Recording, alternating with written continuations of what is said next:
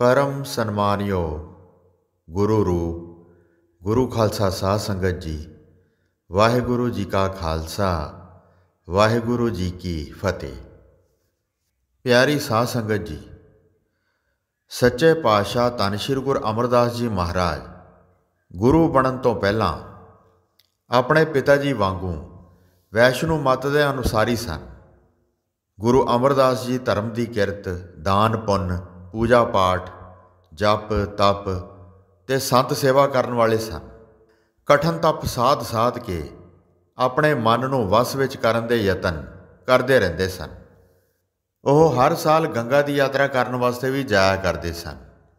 ਫਿਰ ਲਗਭਗ 20ਵੀਂ ਯਾਤਰਾ ਤੋਂ ਵਾਪਸ ਆਉਂਦਿਆਂ ਗੁਰੂ ਜੀ ਨੂੰ ਇੱਕ ਬ੍ਰਹਮਚਾਰੀ ਸਾਧ ਮਿਲਿਆ।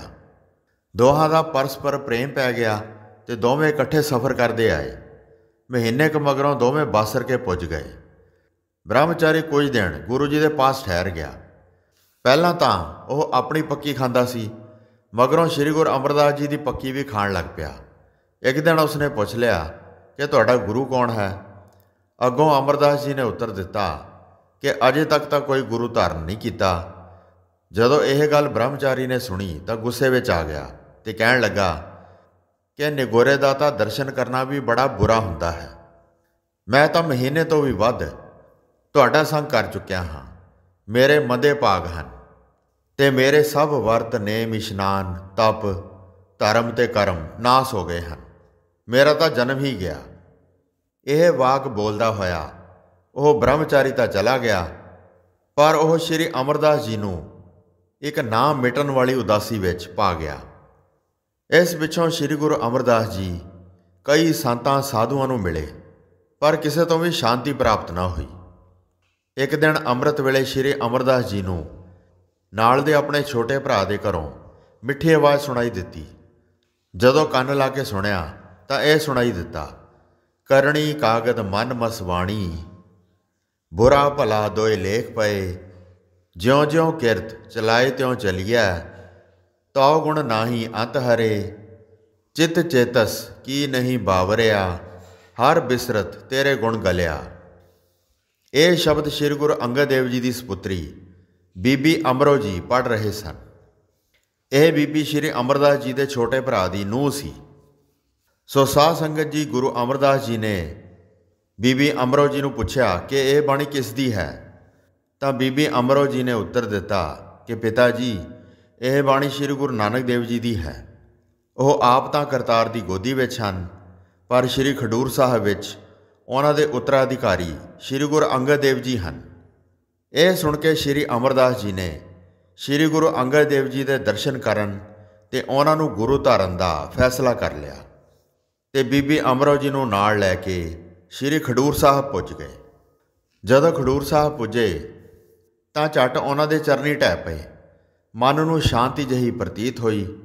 ਗੁਰੂ ਜੀ ਨੇ ਸਿਰ ਉੱਤੇ ਹੱਥ ਧਰਿਆ, ਫਿਰ ਮੱਥੇ ਹੇਠ ਹੱਥ ਦੇ ਕੇ ਸਿਰ ਚੁੱਕਿਆ ਤੇ ਪਾਸ ਬੈਠਣ ਲਈ ਆਗਿਆ ਕੀਤੀ। ਪਰ ਉਹ ਫੋੜੀ ਉੱਪਰ ਬਹਿ ਗਏ ਤੇ ਕਹਿਣ ਲੱਗੇ, ਮੈਂ ਕੁੜਮ ਬਣ ਕੇ ਨਹੀਂ ਆਇਆ, ਮੈਂ ਤਾਂ ਭਿਖਾਰੀ ਸਰਨਾਗਤ ਹਾਂ। ਬੇਆਸਰਾ ਤੇ ਬੇਟਿਕਾਣਾ ਹਾਂ। ਮੈਂ ਇਹਨਾਂ ਚਰਨਾਂ ਦਾ ਆਸਰਾ ਤੱਕ ਕੇ ਆਇਆ ਹਾਂ।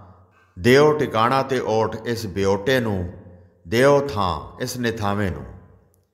ਸੋ ਗੁਰੂ ਦਰੋਂ ਸਿੱਖੀ ਦੀ ਦਾਤ ਪ੍ਰਾਪਤ ਕਰਕੇ ਸ੍ਰੀ ਗੁਰੂ ਅਮਰਦਾਸ ਜੀ ਵਾਪਸ ਆਪਣੇ ਘਰ ਨਾ ਗਏ। ਸ੍ਰੀ ਖਡੂਰ ਸਾਹਿਬ ਟਿਕ ਕੇ ਗੁਰੂ ਜੀ ਦੀ ਤੇ ਗੁਰੂ ਸੰਗਤ ਦੀ ਤਨ ਮਨ ਦੁਆਰਾ ਕਠਨ ਤੇ ਨਿਸ਼ਕਾਮ ਸੇਵਾ ਕਰਨ ਲੱਗ ਪਏ। ਸ੍ਰੀ ਗੁਰੂ ਅੰਗਦ ਦੇਵ ਜੀ ਨੇ ਸਿੱਖੀ ਦਾ ਪਹਿਲਾ ਵੱਡਾ ਨੇਮ ਤੇ ਸਿੱਖੀ ਰਹਿਤ ਦਾ ਪਹਿਲਾ ਵੱਡਾ ਅੰਸ਼ ਹੁਕਮ ਮੰਨਣ ਦਾ ਕਮਾ ਕੇ ਦਿਖਾਇਆ ਸੀ। ਸ੍ਰੀ ਗੁਰੂ ਅਮਰਦਾਸ ਜੀ ਨੇ ਸਿੱਖੀ ਦੇ ਦੂਜੇ ਨੇਮ ਸੇਵਾ ਦੀ ਕਮਾਈ ਕਰਕੇ ਦਿਖਾਈ।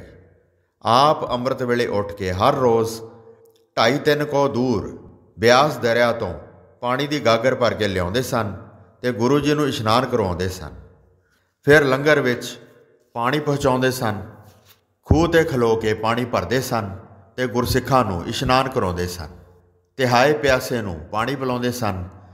ਲੰਗਰ ਵਰਤਨ ਵੇਲੇ ਪੰਗਤਾਂ ਨੂੰ ਸਜਰਾ ਜਲ ਜਾ ਕੇ ਛਕਾਉਂਦੇ ਸਨ।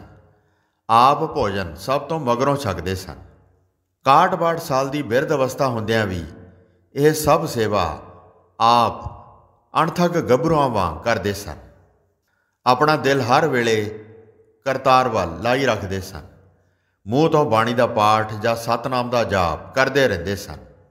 ਸੇਵਾ ਕੇਵਲ ਸੇਵਾ ਦੀ ਖਾਤਰ ਤੇ ਗੁਰੂ ਜੀ ਦੀਆਂ ਖੁਸ਼ੀਆਂ ਪ੍ਰਾਪਤ ਕਰਨ ਦੀ ਖਾਤਰ ਹੀ ਕਰਦੇ ਸਨ। ਸ਼੍ਰੀ ਅਮਰਦਾਸ ਜੀ ਨੂੰ ਕੋਈ ਹੋਰ ਖੁਆਇਸ਼ ਜਾਂ ਲਾਲਸਾ ਨਹੀਂ ਸੀ। ਸ਼੍ਰੀ ਗੁਰੂ ਅਮਰਦਾਸ ਜੀ, ਸ਼੍ਰੀ ਗੁਰੂ ਅੰਗਦ ਦੇਵ ਜੀ ਦਾ ਇੰਨਾ ਸਤਿਕਾਰ ਕਰਦੇ ਸਨ ਕਿ ਉਹਨਾਂ ਵੱਲ ਆਪਣੀ ਪਿੱਠ ਕਦੇ ਨਹੀਂ ਸੀ ਹੋਣ ਦਿੰਦੇ। ਇਸ ਲਈ ਜਦੋਂ ਵੀ ਗੋਇੰਦਵਾਲ ਸਾਹਿਬ ਨੂੰ ਜਾਣ ਲਈ ਤਿਆਰ ਹੁੰਦੇ ਸਨ, ਤਾਂ ਉਹ ਇਹ ਸੋਚਦੇ ਸਨ ਕਿ ਮੇਰੀ ਪਿੱਠ ਗੁਰੂ ਵੱਲ ਨਾ ਹੋਏ, ਇਸ ਲਈ ਉਹ ਪੁੱਠੇ ਪੈਰੀ ਚੱਲ ਕੇ ਜਾਂਦੇ ਸਨ। ਇਸੇ ਪ੍ਰਕਾਰ ਇੱਕ ਵਾਰ ਸ਼੍ਰੀ ਖਡੂਰ ਸਾਹਿਬ ਤੋਂ ਜਦੋਂ ਸ਼੍ਰੀ ਗੋਇੰਦਵਾਲ ਸਾਹਿਬ ਵੱਲ ਚਾਲੇ ਪਾਏ, ਤਾਂ ਉਸ ਸਮੇਂ ਉਹਨਾਂ ਨਾਲ ਕਈ ਹੋਰ ਸਿੱਖ ਵੀ ਸਨ। ਉਹ ਵੀ ਸ਼੍ਰੀ ਗੁਰੂ ਅਮਰਦਾਸ ਜੀ ਵਾਂਗ ਪੁੱਠੇ ਪੈਰੀ ਗਏ। ਰਸਤੇ ਵਿੱਚ ਇੱਕ ਮਨੁੱਖ ਦੀ ਹੱਡੀ ਪਈ ਸੀ। ਪਤਾ ਨਹੀਂ ਉਹ ਕਦੋਂ ਦੀ ਉੱਥੇ ਪਈ ਸੀ। ਇਹ ਜਾਣਿਆ ਨਹੀਂ ਸੀ ਜਾ ਸਕਦਾ। ਜਦ ਪਿਛਲੇ ਪੈਰੀ ਜਾਂਦਿਆਂ ਸ਼੍ਰੀ ਅਮਰਦਾਸ ਜੀ, ਜਿਹੜੀ ਵੱਡੀ ਕਰਾਮਾਤ ਦੇ ਮਾਲਕ ਸਨ, ਉਹਨਾਂ ਦਾ ਪੈਰ ਉਸ ਹੱਡੀ ਨੂੰ ਲੱਗਾ, ਤਾਂ ਉਹ ਪਾਪੀ ਮਨੁੱਖ, ਜਿਸ ਦੀ ਉਹ ਹੱਡੀ ਸੀ, ਨਰਕਾਂ ਵਿੱਚੋਂ ਬਾਹਰ ਆ ਗਿਆ। ਉਸ ਦੀਆਂ ਸਾਰੀਆਂ ਕਠਨ ਸਜ਼ਾਵਾਂ ਖਤਮ ਹੋ ਗਈਆਂ। ਉਸ ਨੇ ਫੌਰਨ ਮਨੁੱਖ ਦਾ ਸਰੀਰ ਧਾਰਨ ਕਰ ਲਿਆ। ਜੋ ਨਿਰਜੀਵ ਸੀ, ਉਹ ਸੰਜੀਵ ਹੋ ਗਿਆ।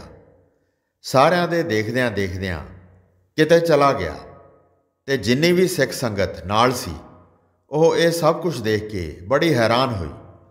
ਸ਼੍ਰੀ ਅਮਰਦਾਸ ਜੀ ਸਹਿ ਸੁਭਾ ਸ਼੍ਰੀ ਗੋਇੰਦਵਾਲ ਸਾਹਿਬ ਵੱਲ ਆਪਣੇ ਘਰ ਨੂੰ ਚਲੇ ਗਏ। ਰਾਤ ਆਪਣੇ ਘਰ ਵਿੱਚ ਰਹਿ ਕੇ ਹੀ ਬਤੀਤ ਕੀਤੀ। ਜਦੋਂ ਸਵੇਰ ਹੋਈ ਤਾਂ ਦਰਸ਼ਨਾ ਹਿਤ ਸ਼੍ਰੀ ਖਡੂਰ ਸਾਹਿਬ ਵੱਲ ਚੱਲ ਪਏ। ਸ਼੍ਰੀ ਗੁਰੂ ਅੰਗਦ ਦੇਵ ਜੀ ਦੇ ਅੱਗੇ ਜਾ ਕੇ ਬੰਦਨਾ ਕੀਤੀ ਤੇ ਸੰਗਤ ਵਿੱਚ ਬੈਠ ਗਏ। ਪਿਛਲੇ ਦਿਨ ਜਿਹੜੇ ਸਿੱਖ ਸ਼੍ਰੀ ਅਮਰਦਾਸ ਜੀ ਦੇ ਸੰਗ ਗਏ ਸਨ, ਉਹਨਾਂ ਵਿੱਚੋਂ ਇੱਕ ਸਿੱਖ ਉੱਠ ਕੇ ਬੋਲਿਆ हे ਸੱਚੇ ਪਾਤਸ਼ਾਹ, ਅਸੀਂ ਬਹੁਤ ਵੱਡਾ ਅਚਰਜ ਦੇਖਿਆ ਹੈ। ਅਸੀਂ ਗੋਇੰਦਵਾਲ ਸਾਹਿਬ ਨੂੰ ਸ਼੍ਰੀ ਅਮਰਦਾਸ ਜੀ ਦੇ ਨਾਲ ਜਾ ਰਹੇ ਸਾਂ।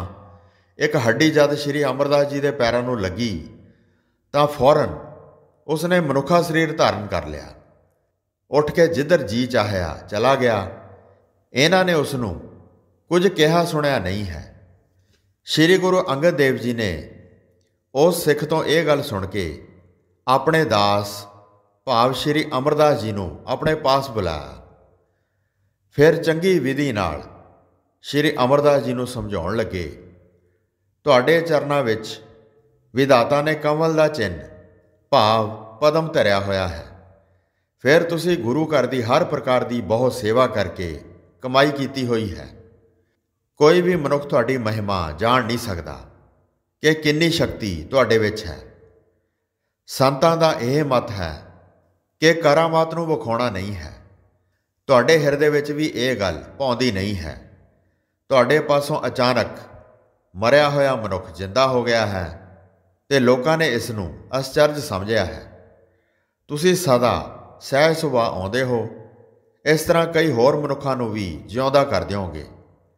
ਜਗਤ ਵਿੱਚ ਇਹ ਗੱਲ ਚੰਗੀ ਨਹੀਂ ਸ਼ੋਭਦੀ। ਸੰਤ ਮਤ ਵਾਲੇ ਇਸ ਨੂੰ ਪਸੰਦ ਨਹੀਂ ਕਰਦੇ। ਇਸ ਕਰਕੇ ਹੁਣ ਮੇਰੀ ਸਿੱਖਿਆ ਮੰਨੋ। ਇਸ ਨੂੰ ਦ੍ਰਿੜ ਕਰੋ ਤੇ ਕਦੇ ਵੀ ਨਾ ਛੱਡਿਓ। ਜਦੋਂ ਤੁਹਾਡੇ ਮਨ ਵਿੱਚ ਦਰਸ਼ਨਾਂ ਦੀ ਪਿਆਸ ਹੋਵੇ ਤਾਂ ਅਸੀਂ ਤੁਹਾਡੇ ਪਾਸ ਆਪ ਚੱਲ ਕੇ ਆਵਾਂਗੇ। ਇਸ ਤਰ੍ਹਾਂ ਜਗਤ ਵਿੱਚ ਕਰਾਮਾਤ ਪ੍ਰਗਟ ਨਹੀਂ ਹੋਏਗੀ।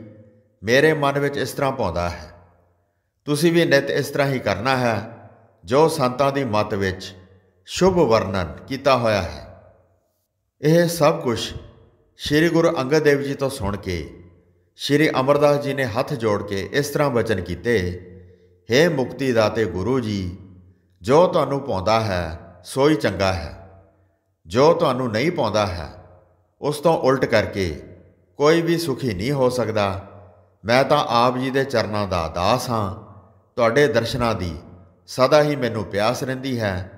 ਮੈਂ ਕਦੇ ਵੀ ਤ੍ਰਿਪਤ ਨਹੀਂ ਹੁੰਦਾ ਹਾਂ। ਬਾਕੀ ਜੋ ਸ਼੍ਰੀ ਸਤਿਗੁਰੂ ਜੀ ਨੂੰ ਪਾਉਂਦਾ ਹੈ, ਉਹੀ ਗੱਲ ਸਾਨੂੰ ਚੰਗੀ ਲੱਗਣੀ ਬਣਦੀ ਹੈ। ਸੋ ਇਸ ਪ੍ਰਕਾਰ ਸ਼੍ਰੀ ਗੁਰੂ ਅਮਰਦਾਸ ਜੀ ਨੇ ਸ਼੍ਰੀ ਗੁਰੂ ਅੰਗਦ ਦੇਵ ਜੀ ਤੋਂ ਸਿੱਖਿਆ ਪ੍ਰਾਪਤ ਕਰਕੇ ਆਪਣੇ ਹਿਰਦੇ ਵਿੱਚ ਦ੍ਰਿੜ ਕਰ ਲਈ। ਫਿਰ ਆਗਿਆ ਪ੍ਰਾਪਤ ਕਰਕੇ ਸ਼ਾਮ ਨੂੰ ਪਿਛਲੇ ਪੈਰੀ ਸ਼੍ਰੀ ਗੋਇੰਦਵਾਲ ਸਾਹਿਬ ਪਹੁੰਚ ਗਏ। ਸ਼੍ਰੀ ਗੋਇੰਦਵਾਲ ਰਹਿੰਦਿਆਂ ਸ਼੍ਰੀ ਅਮਰਦਾਸ ਜੀ ਦਾ ਇਹ ਨੇਮ ਬੱਜਾ ਸੀ ਕਿ ਹਰ ਰੋਜ਼ ਅੰਮ੍ਰਿਤ ਵੇਲੇ ਬਿਆਸ ਦੇ ਜਲ ਦੀ ਗਾਗਰ ਲੈ ਕੇ ਸ੍ਰੀ ਖਡੂਰ ਸਾਹਿਬ ਜਾਣਾ ਹੈ ਤੇ ਗੁਰੂ ਜੀ ਨੂੰ ਇਸ਼ਨਾਨ ਕਰਾਉਣਾ ਹੈ। ਉਹਨਾਂ ਦੇ ਬਸਤਰ ਧੋਣੇ ਹਨ, ਲੰਗਰ ਦੀ ਸੇਵਾ ਕਰਨੀ ਹੈ ਤੇ ਸ਼ਾਮੀ ਵਾਪਸ ਸ੍ਰੀ ਗੋਇੰਦਵਾਲ ਸਾਹਿਬ ਚਲੇ ਜਾਣਾ ਹੈ। ਕੁਝ ਚਿਰ ਮਗਰੋਂ ਗੁਰੂ ਜੀ ਨੇ ਆਗਿਆ ਕੀਤੀ ਕਿ ਤੁਸੀਂ ਹੁਣ ਖੇਚਲ ਨਾ ਕਰਿਆ ਕਰੋ, ਗੋਇੰਦਵਾਲ ਹੀ ਟਿਕਿਆ ਕਰੋ। ਅਸੀਂ ਆਪ ਹੀ ਕਦੇ-ਕਦੇ ਤੁਹਾਡੇ ਕੋਲ ਆਇਆ ਕਰਾਂਗੇ। ਸੋ ਸਾਧ ਸੰਗਤ ਜੀ, ਇਉਂ ਹੀ ਹੁੰਦਾ ਰਿਹਾ। ਸ੍ਰੀ ਗੁਰੂ ਅੰਗਦ ਦੇਵ ਜੀ ਨੇ ਮੁੱਢ ਤੋਂ ਹੀ ਜਾਣ ਲਿਆ ਸੀ ਕਿ ਸਾਡੇ ਮਗਰੋਂ ਗੁਰਗੱਦੀ ਦੀ ਜ਼ਿੰਮੇਵਾਰੀ ਸ੍ਰੀ ਅਮਰਦਾਸ ਜੀ ਨੇ ਚੁੱਕਣੀ ਹੈ ਤੇ ਨਿਭਾਉਣੀ ਹੈ। ਉਹ ਕਾਲ ਪ੍ਰੀਖਿਆ ਵਿੱਚ ਵੀ ਪੂਰੇ ਉਤਰੇ ਸਨ। ਸਾਰੇ ਸਿੱਖ ਉਹਨਾਂ ਨੂੰ ਸਤਿਕਾਰਦੇ ਸਨ ਤੇ ਆਪਣੇ ਨਾਲੋਂ ਉੱਚੇ ਸਮਝਦੇ ਸਨ। ਜਦੋਂ ਸ੍ਰੀ ਗੁਰੂ ਅੰਗਦ ਦੇਵ ਜੀ ਦਾ ਸੱਚਖੰਡ ਵਾਪਸੀ ਦਾ ਸਮਾਂ ਆ ਗਿਆ, ਤਾਂ ਉਹਨਾਂ ਨੇ ਸਾਰੀ ਸੰਗਤ ਦੇ ਸਾਹਮਣੇ ਸ੍ਰੀ ਅਮਰਦਾਸ ਜੀ ਦੇ ਅੱਗੇ ਪੰਜ ਪੈਸੇ ਤੇ ਨਾਰੀਅਲ ਰੱਖ ਕੇ ਮੱਥਾ ਟੇਕਿਆ ਤੇ ਫਿਰ ਬੜੇ ਪਿਆਰ ਨਾਲ ਬਾਹੋਂ ਫੜ ਕੇ ਉਹਨਾਂ ਨੂੰ ਆਪਣੇ ਸਿੰਘਾਸਨ ਤੇ ਬਿਠਾਇਆ। ਫਿਰ ਆਪ ਦੀ ਆਗਿਆ ਮੂਜਬ ਬਾਬਾ ਬੁੱਢਾ ਜੀ ਨੇ ਉਹਨਾਂ ਨੂੰ ਗੁਰਿਆਈ ਦਾ ਤਿਲਕ ਲਗਾਇਆ। ਗੁਰੂ ਜੀ ਦਾ ਹੁਕਮ ਮੰਨ ਕੇ ਸਾਰੀ ਸੰਗਤ ਨੇ ਸ੍ਰੀ ਗੁਰੂ ਅਮਰਦਾਸ ਜੀ ਦੇ ਅੱਗੇ ਮੱਥਾ ਟੇਕਿਆ। ਹੋਈਆਂ ਭੁੱਲਾਂ ਚੁੱਕਾਂ ਦੀ ਖਿਮਾ ਬਖਸ਼ਣੀ ਜੀ, ਦਾਸ ਨੂੰ ਆਗਿਆ ਦਿਓ। ਵਾਹਿਗੁਰੂ ਜੀ ਕਾ ਖਾਲਸਾ, ਵਾਹਿਗੁਰੂ ਜੀ ਕੀ ਫਤਿਹ।